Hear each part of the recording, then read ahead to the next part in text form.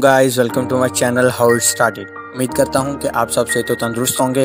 इसी के साथ हम अपनी वीडियो का आगाज़ करते हैं गाइस तो सबसे पहले हम इस चीज़ को देखते हैं कि पिछले वीडियो में अपने चैनल के इंट्रोडक्शन में हमने क्या चीज़ डिस्कस की थी।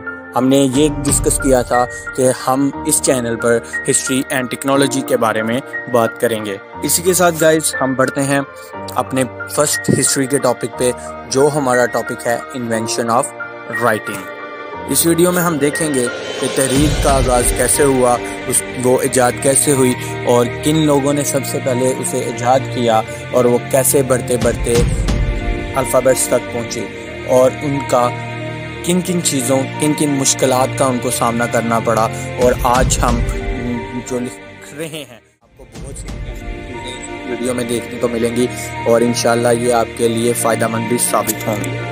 तो गाइज़ इस शो में हम बात करेंगे तहरीरी तरीक के बारे में। हम अक्सर लोगों मकाम या माशरों की तरीक के बारे में बात करते हैं और शाजो नादर हमें किसी ख्याल की तरीक के बारे में बात करने को मिलता हो। तो आज हम तहरीरी लफ्ज़ की तस्वर की तरीक के बारे में बात करने जा रहे हैं। मगर गाइज़ हम उससे पहले हमारे चैनल को सब्सक्राइब करना मत भूलिएगा और बेल आइकन को तो ज़रूर प्रेस कीजिएगा ताकि हमारे चैनल पर आने वाली तमाम तर वीडियोस आपको मिलती रहें और आपके इलम में इजाफा होता रहे। तो गाइज़ जैसा कि आप जानते हैं कि लिखना बनी इंसान की सबसे ज़्यादा फ़ायदा टेक्नोलॉजी में से एक रहा है। छप्पन सौ साल तक ख्याल को नस्लों तक मुंतकिल करने, हदायत देने, खुला और करने की खलीज की पर ख्याल का इजहार करने की इस सलाहियत ने हमें कायनात के बारे में, हमारी समझ में बहुत ज़्यादा तरक्की दी है। लेकिन फिर भी हमें ये समझने के लिए कि लिखना कैसे शुरू हुआ, हमें कदीम समर का सफ़र करना होगा, जहाँ तहरीर का सबसे पहला वसी पैमाने पर इस्तेमाल शुरू हुआ था। इन तमाम मालूम के साथ मैं आपको बताता चलूँ कि तहरीर निज़ाम दुनिया की तारीख में चार दफ़ा ईजाद किया गया था, जो कि समरीन ने सबसे पहले ईजाद किया। सबसे पहले ये देखते हैं कि समरीन असल में है क्या। समर कदीम तरीन तहजीब का मकाम मेसपटोमिया के जनूबी हिस्से में दरिया दजला और फ़रात के दरमियान वाक़ है, जो अब बेबलोनिया बन गया है। जनूबी इराक में बगदाद के आसपास से खलीज फार्स तक फैला है। अब हम बात करेंगे कि मंदिर यानी टेम्पल्स के बारे में।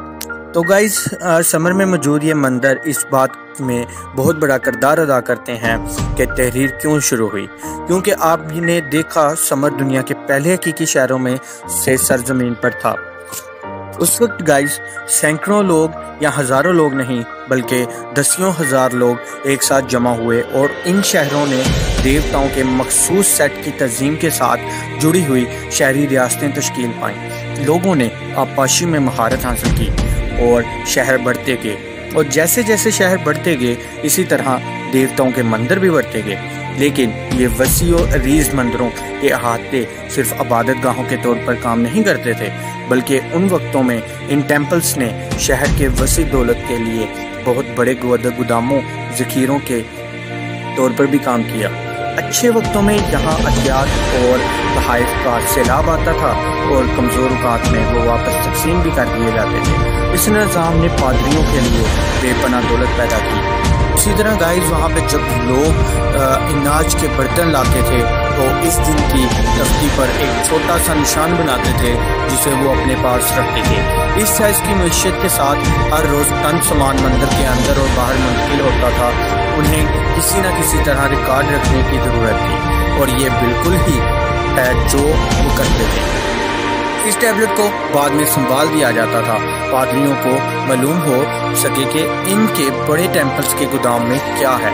इनको किसी कैबिनेट में संभाल दिया जाता था। इसी तरह वो इसको याद रखने के लिए इस टेंपल में क्या आया है, इसकी तस्वीर बना देते थे। जैसे कि एक छोटी सी मिसाल है कि वो आदमी नेजे और हाथी की तस्वीर बनाकर ज़ाहिर करते थे कि आदमी नेजे के ज़रिए हाथी को मारता है।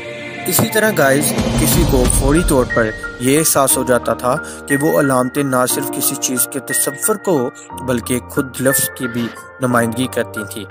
और बिल्कुल ऐसा ही हुआ। गाय की अलामत ना सिर्फ़ जानवर को नुमाइंदगी के तौर पर, बल्कि लफ्ज़ गाय के तौर पर भी समझी जाने लगी थी। लेकिन फिर भी एक हज़ार या इससे ज़्यादा इसमों की सिर्फ़ एक सेट के साथ आप बहुत कुछ नहीं कर सकते थे, और यहीं पर लसानियत का एक खुशकुन हादसा पेश आया गाइस। हादसा हादसा कुछ यूँ हुआ कि इनको इस तरह लिखने में बहुत से मसले मसाइल का सामना करना पड़ रहा था। अगर आपको याद हो तो पीछे हमने चीज़ों की ड्राइंग का ज़िक्र किया है कि मंदिर में अनाज की गिनती कैसे की जाती थी, जो मट्टी की तख्ती पर अपने निशान बनाने का ज़िक्र था। लेकिन इस निज़ाम को जल्द ही बदल दिया गया, क्योंकि मिट्टी के साथ मसला ये था कि अगर वो ऊपर से नीचे लिखते हुए गलती से उनका हाथ नीचे हो जाता तो वो कॉलम को पूरा हिस्सा मिटा देता था, जो कि वो लिखे थे। तो दोस्तों, इस चीज़ को लेकर वो बहुत परेशान थे। इस मसले का हल कुछ उन्होंने इस तरह निकाला कि फिर उन्होंने दाएँ से बाएँ लिखना शुरू किया, जिससे मिटने का खतरा तो कम हो गया, लेकिन मंदिर के बहुत से लोगों ने इस इख्तराज को पसंद नहीं किया। ये किताबों के लिए तो आसान था, लेकिन दूसरे पढ़े लिखे लोगों के लिए जिन्हें इसे पढ़ना था, वो ऊपर से नीचे तक पढ़ना सीख चुके थे। और इसलिए उन्हें ये साइड वे चीज़ बिल्कुल पसंद नहीं आई। तो काटबों ने क्या किया? तो गाइस सबसे बड़ा सवाल ये है कि इसके बाद उन्होंने क्या किया होगा? तो इस मसला पर उन्होंने बस तमाम हरूफ को 90 डिग्री घुमाया ताकि कोई शख्स टैबलेट को मोड़कर ऊपर से नीचे तक पढ़ सके। जैसा कि वो हमेशा पढ़ता था। जल्द ही लोग सिर्फ़ बाएँ से दाएँ तरफ़ के हरूफ को पढ़ने लगे। लेकिन चूँकि, वो पलट गए थे, अब वो और भी तजवीदी थे।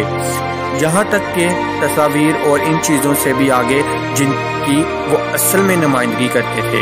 इस तहरीर निज़ाम को इसके बाद हमसाया इकाडियन और इलामिट्स ने अपनाया, जिन्होंने इसका मज़ीद खुलासा किया। किसी चीज़ के मुबहम होने की सूरत में तकरीर का कौन सा हिस्सा था इनमें तयन करने वाले छोटे निशानात भी शामिल किए गए थे। तो इसी के साथ गाइस एक हकीकी तहरीरी निज़ाम मिल गया था, असल तस्वीरें और यहाँ तक के जो तस्वीरें तस्वीरें हैं, वो भी बन गईं।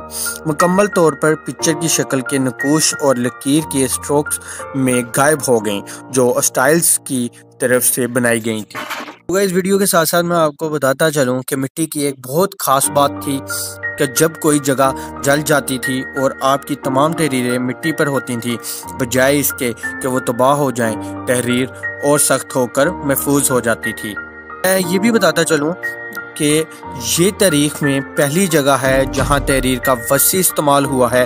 बाद में ये मिसो अमरीका और आज़ादाना तौर पर शुरू हुआ और बाद में यकीनी तौर पर चीन में आज़ादाना तौर पर तैयार किया गया था। और गैस ये तहरीरी ईजाद तैतीस सौ से चौंतीस सौ कबल मसीह के दौरान मुकम्मल किया गया। इस बारे में बहुत ज़्यादा तनाज़ात हैं कि आया ये वादी सिंध और मिस्र में आज़ाद तौर पर तैयार हुआ है। अगरचा, जिससे ये तस्लीम किया जाता है कि आम आदमी की राय से ज़्यादा कुछ बनाने के लिए ये काफ़ी नहीं है।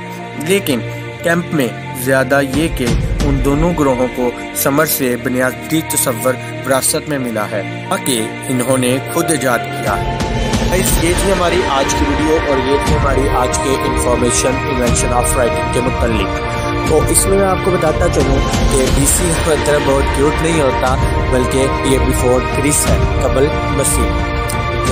और इसके साथ साथ हमारे चैनल को सब्सक्राइब ज़रूर कीजिएगा ताकि हमारी इस तरह की इंफॉर्मेटिव वीडियोस आपके पास पहुँचती रहें और आपको इससे और ज़्यादा फ़ायदा होता रहे। तो गाइस हमें सपोर्ट कीजिएगा, हमारे चैनल को सब्सक्राइब कीजिएगा ताकि हम आपके लिए मज़ीद ऐसी वीडियोस लेके आए। तो thanks for watching stay with God bless you guys मिलते हैं अगली वीडियो में इनशाला अल्लाह हाफिज़।